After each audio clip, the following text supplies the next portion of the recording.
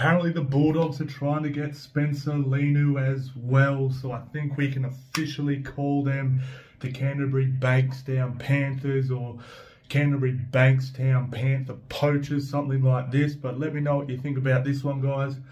Man, I don't. I love Spencer. I think he's probably the best bench prop in the game, and he's good young up and coming prop. But damn, surely Canterbury have some young juniors they can blood through and rather than trying to poach all these players, I, I don't mind poaching a star here and there, but when you're like, literally trying to drain the Penrith club here, it's absolutely insane. So, love to hear your guys' thoughts on this.